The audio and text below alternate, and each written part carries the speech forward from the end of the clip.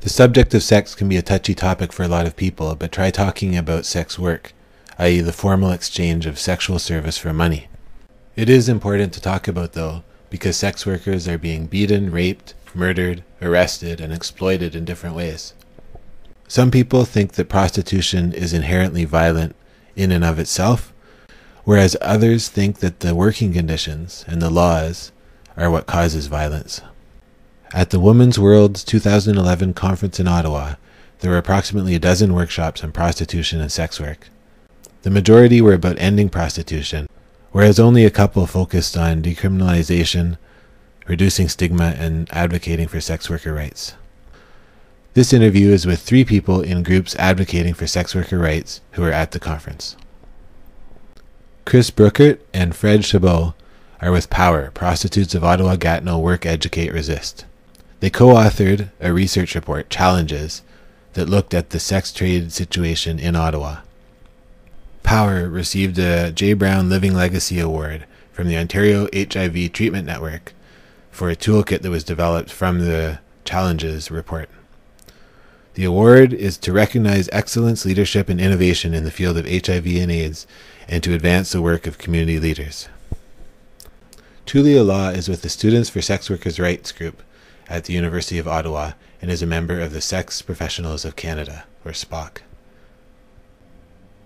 SPOC were the initiators of a legal challenge against three of the prostitution laws in Canada at the Ontario Superior Court. The judge struck down the laws but the government has appealed and the case will end up in the Supreme Court of Canada. In that context, I was hoping to have interviews with people from both sides of the issue that could explain their points of view. The people I sought out for an interview to explain the opposing view to striking down the laws were involved with the flesh mapping exhibit and roundtable discussions that were on all four full days of the conference.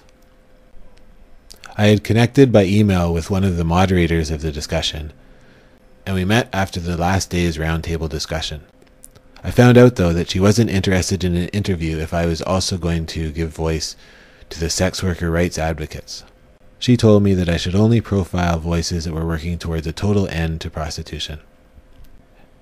Another of the roundtable discussants had said she'd do an interview, and after she finished doing another interview, she found someone else so that we could have two people explain the points of view of ending prostitution. However, just before we entered the interview room, a commotion ensued. The woman who had refused an interview was now standing over a group of seated sex workers and sex worker allies, loudly berating them. The sex workers and their allies were doing the sit in in the hall outside of the flesh mapping exhibit to protest that flesh mapping participants and others seeking to end prostitution had disrupted the workshop addressing sex worker stigma the day before. The two women I was about to interview left me and went over to join the commotion and tell off the sex workers. Once they came back, it turned out they were out of time. One had to catch a plane, and the other had a meeting to go to. She said that we'd probably be able to reschedule later in the day. This was the last day of the conference, but it didn't work out. Thus, their opinions are not included in this video. Okay, so uh, welcome, and can you please introduce yourselves? Uh, Chris Bruckert, Associate Professor in Criminology at the University of Ottawa, Chair of Power Prostitutes of Ottawa Work, Educate and Resist. And my name is Fred. I'm also a member of Power. I'm on the board of directors as vice chair right now. Uh, my name is Tuulia Law. I'm the founder of Students for Sex Worker Rights, which is a student group at Ottawa U with sex workers and allies, and I'm also a student here at Ottawa. Okay, thank you. Um, so, are we talking about sex work or prostitution? Is there a difference? Is there a different meaning? Talking about sex work. We're talking about sex work because um, we're talking about a labor issue. So the idea of prostitution brings us back to much more of a moralistic code. Much more, it's much more about um, um, a moral status. And what we're talking about is work. It's a sexualized labor, so sex work. It also helps to differentiate uh, someone's labor activity from their identity. I think it's easier if we're talking about sex work to uh, consider it as one part of a person instead of an, a status itself or an identity. and um, and there were people also here at the conference who were talking about it in terms of prostitution. Uh, why do you think it's a good idea not to have a combined interview with, with those different perspectives?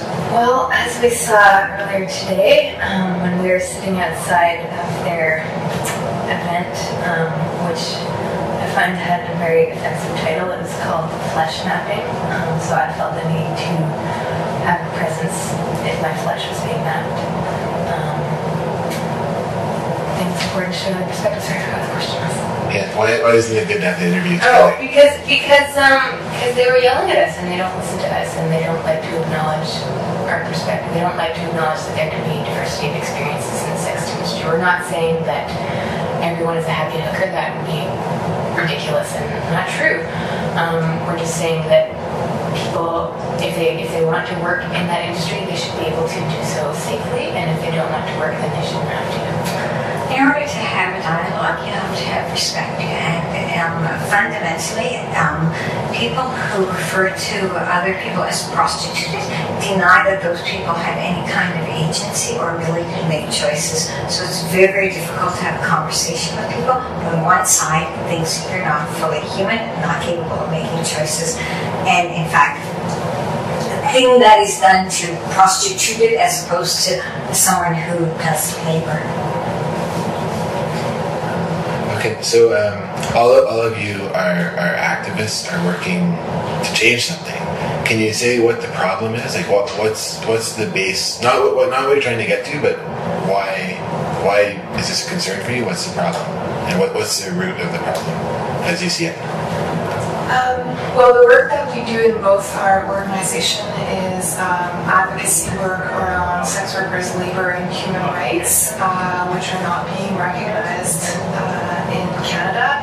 And the, we also do work around um, the criminalization of sex work and the stigmatization of sex work and the marginalization of sex workers that result from both stigmatization and criminalization and the violence that is uh, directly uh, the source being directly the sorry I'm going to rephrase that but um, the laws being the source of uh, violence against sex workers in the country right now so we're, we do a lot of work around decriminalization and also around uh, the destigmatization of sex work I would say, although our, our the practical, well, you know, we have we have two goals that are that are very important together, which is that we work, we're, we're advocating for decriminalization because we believe it would be safer, and also because it would remove um, some stigma. You know, if my job wasn't stigmatized, um, then it could just be seen as a job like any other. It also makes it possible to um, to look at the context in which sex work happens, because uh, the way where we come from is that sex work can be both a side of exploitation and a side of many other things, such as empowerment, or it's just a job, or it's a way to be independent, a way to make money. It can be many different things, and uh, in the meantime, we work towards uh, people working in dignity and safety and. Uh, also considering the context in which it happens and working on the context and the choices that are available to women. So it's a it's a two track uh, work. And I mean, I said women. Sorry, I'm really not on today. Uh, but uh, we actually work with sex workers of all genders and all sectors. At the root of it, for us, because the uh, sex industry is normalized, it's also in the shadows. And as soon as you have something in the shadows and lack of transparency, that's you, you create the conditions where it's possible for exploitation, for violence, for um, for any number of harms. So our argument is that the harms associated with sex work, which are very, very real, sex workers experience high of violence, including fatal violence. Uh, they have lack of protection. They have lack of, uh, of social rights and, and worker rights. All of that can be alleviated if we brought it out of the shadows and go through decriminalization. So, so that would be our argument that a lot of the violence and the negative things aren't inherent to the industry, but they are um, a result of the particular context in which the industry occurs. And also with decriminalization, we could um, we could organize we organize our, the industry ourselves to have um, occupational health and safety and labor rights. And that's an important part of the decriminalization argument is that if we're arguing that it's labor, we're also arguing that we're workers that need labor rights. Yeah, and I, wanted to get to the like what you're looking for a bit later, so but I just want to talk about the context more. Um, in terms of like how do you see um, gender relations, attitudes about sexuality, economic systems, how do you see all of that impacting? Well, a lot of, a lot of, I think a lot of people that um, that object to our position um, argue that we are dupes of patriarchy and capitalism, and I think particularly of particularly capitalism, I think that capitalism is not something that you can opt out of. It's not, um, you know, this is the way society works right now, and if I, I need, I need to work to have, you know, to have the things that I need in life, and um, I think, I think, you know, so I have to, I have to engage in labor, and I think that I should have the choice to be able to do, to be able to be a safe laborer no matter what. Um, job I choose. So I think that, you know, work around sex worker rights needs to be done um, on a parallel track with, um, you know, the improvements of labor rights generally. And actually, um, the sex worker movement has found a lot of support from unions and the labor movement. It also brings to light the, um, the, the sex becomes an important component of when we're talking about sex work because uh, people really focus on the potential for exploitation in sex work when in fact uh, the relations of labor uh, in capitalism can be exploitative in, in, many different settings. And if we were talking, for example, of, of sweatshops, um, nobody's talking about banning sewing. Uh, we're talking about improving uh, labor relations or labor rights or making sure that people are working safely and in dignity. So uh, the sex work movement is, is trying to uh, to have that discussion around what sex means for a lot of people at the same time as we're talking about the fact that it's work and uh, that it's a labor activity for people and that we're working towards labor and human rights for sex workers. So, so what is your like long-term vision or goal of what of what how you'd like to see things change? Well, I think a, a good parallel comes from, uh, and you guys can jump in if you want to add to that. But a good parallel is it's a quote from uh, from an activist who works around the pro-choice uh, from in the pro-choice movement, saying that uh, she was asking the question, "Are we a pro-abortion movement?" The answer is no. We're a pro-choice movement, and our ultimate goal in the end is that there are less women who are there are less abortions being performed in the sense that we want better sex education, we want more housing, we want more uh, more childcare, uh, more possibilities for women who are maybe getting abortions because they can't afford to have a kid or because of their social location or uh, other reasons like that, can actually carry pregnancies to term. And then we want that people who are accessing abortions do it safely and in dignity. And it's, it's similar for uh, the sex workers' rights movement. It's not, a lot of people might portray it as, oh, it's the pro-prostitution movement. Actually, it's, uh, we're maybe dreaming, maybe I'm personally dreaming of a world where the people who will be performing sex work are the people who want to be there, who enjoy their work. Uh, and so that means working on the context of options in which women are taking decisions, women, men, and trans people are taking decisions in terms of what kind of labor they're going to be doing. So uh, more housing, more childcare, uh, better wages, well, a better welfare system, treatment beds, etc., etc. And then people who are choosing to do sex work do so in dignity and in safety. So that's what we're working towards. So it's it's both at the same time working on a context and the structures in which we all function. So uh, patriarchy, capitalism, racism, like name name structures and systems in which we function. So working on the social justice aspect of it while uh, hoping that people one day who are choosing to do sex work for the, because they enjoy the work and they want to be doing it, uh, do so safely and in dignity. You know, I guess on the way to that, um, the, the interim goal is just to get people to understand um, that how those issues are connected and how it's it's you have to do more than um, put the consumers of sexual services in jail. Like that doesn't work, right? You have to understand it as understanding it as a labor issue. You know, allows you to ask different questions. So it allows you to ask, like, you know, why why do some people have a limited choice of job options? How do they get there? What what would they need to, for their range of choices to be expanded? Um, so really to give people um, the tools to be honest. I, was going to ask, what are the steps to kind of immediate steps to get? Um, we're fighting for decriminalization. We're also fighting uh, against stigma through public education. I mean, I think it's a bit of a process. Um, I, for one, take a great deal of comfort in the gay rights movement. In, in the fact that, you know, it wasn't that very long ago that uh, not only was gay sex illegal, but in fact gay men and lesbian women were persecuted quite systematically in this country and excluded.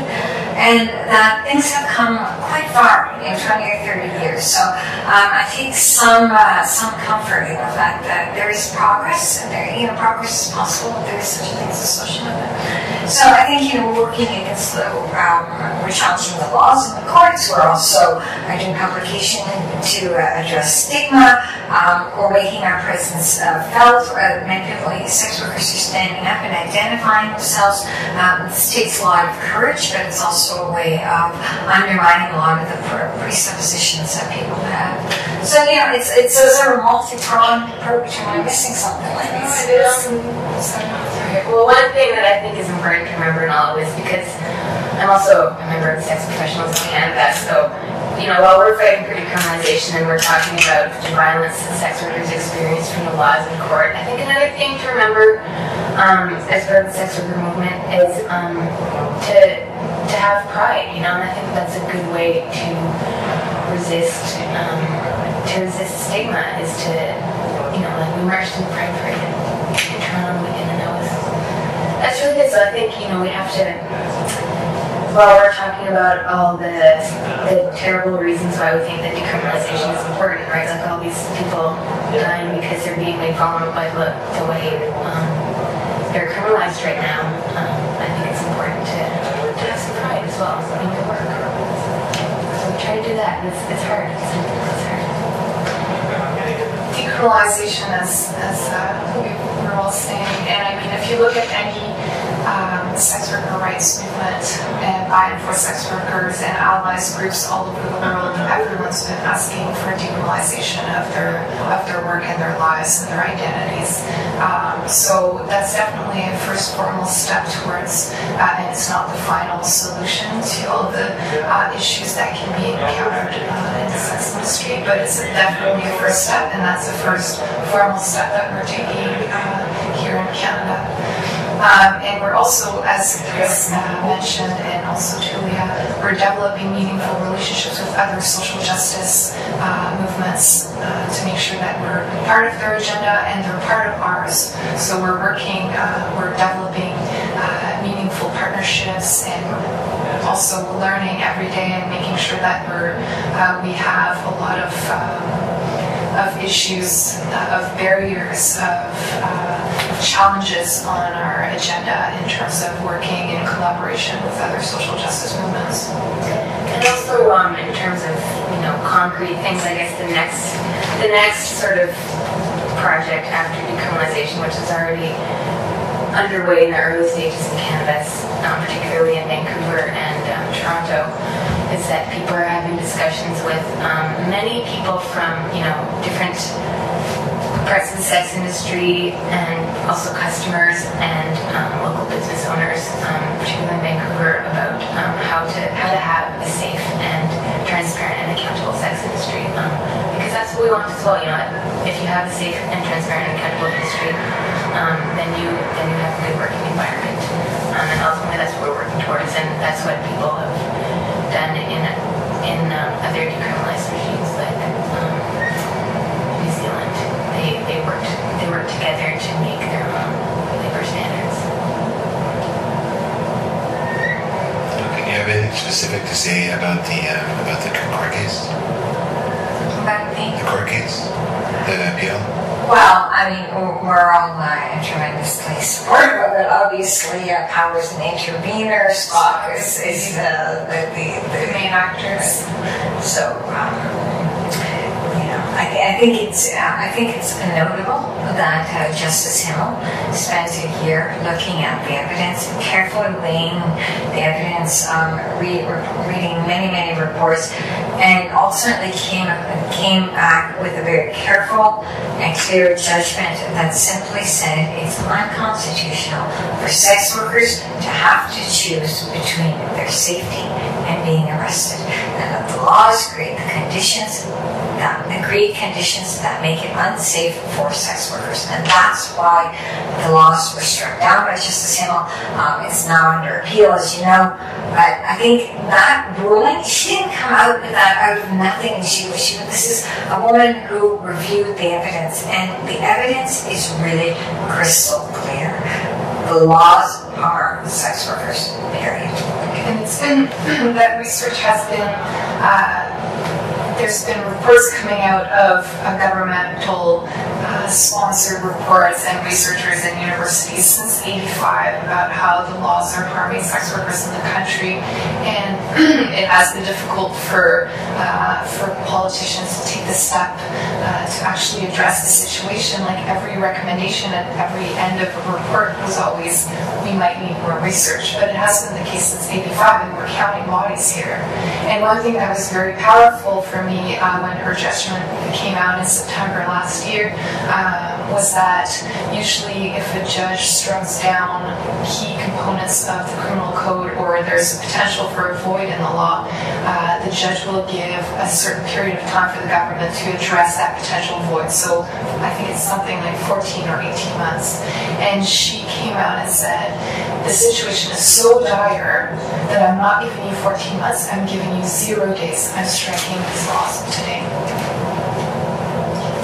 So obviously we'll keep working towards, uh, I mean, we're going to go up the steps. We're going to be in court uh, when this goes up at the Supreme Court. We're waiting for the ruling from the Court of Appeal right now. And we are, as Julia mentioned, uh, sex worker rights group and sex worker led groups all over the country are discussing. People are trying to imagine what decriminalization uh, would look like for Canada. We are looking at New Zealand, but being very conscious that Canada is a unique setting with a unique set of conditions, and people are talking. Research is being done. Uh, meetings are, are being had. I mean, obviously, this is something that people want to be working on, and best practices want to be drawn, and we want to talk about what it could look like and what sex workers are wanting to be uh, to see happen in terms of a you called it a transparent and safe uh, sex industry in Canada. Any comments on how this conference went? Do you want to Yeah. I think um, I was disappointed.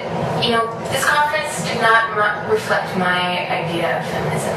Um, you know, I would I am disheartened to, to think that maybe this is a reflection of um, the the contemporary face of feminism. I thought we, you know, I thought the sex wor- wars were in the 70s and 80s, um, but it seems to be continuing today.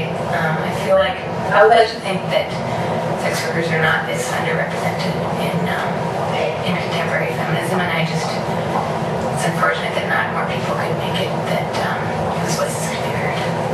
Just to be clear, you're talking when you say this this conference didn't reflect feminism. You're talking specifically on the subject of sex work, or Well, no, this, the con- this conference does not reflect feminism as I understand it today. okay. Um, I, I agree with Julia in the sense that it was not a safe space for dialogue here. There was very little space for certain voices to be heard, and these voices were quashed violently. A lot of us have felt uh, violated and, and uh, attacked, uh, and I am not surprised that there were not more voices uh, talking about decriminalization or sex workers' rights on the premises uh, because it was not a welcoming space for us, and we it has been confirmed through uh, interactions that we've had uh, during the conference, um, and having our members and other allies and friends or sex workers who left our panels uh, distraught and crying because they were dehumanized and silenced, and the only hour and a half that we had in the entire week was uh, was made unsafe and unsafe space by uh, through attacks, small attacks, and silencing. So it has been an interesting week, but I mean, aside from that, we're continuing our conversations outside of this space and hoping to find spaces for dialogue, uh, obviously with